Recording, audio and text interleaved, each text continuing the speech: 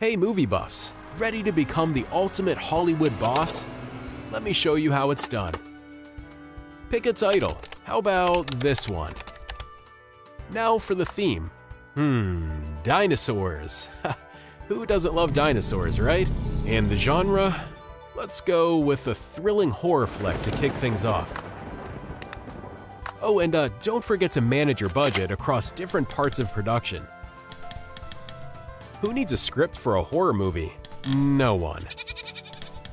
Then, decide how and where to distribute your movie.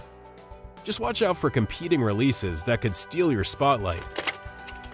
Your film is now ready to, uh, face the critics. Yeah, uh, oh, uh, looks good, whew. Learn from your mistakes after each film production. Your goal? To be at the top of the box office, of course. Boost your popularity by targeting current trends.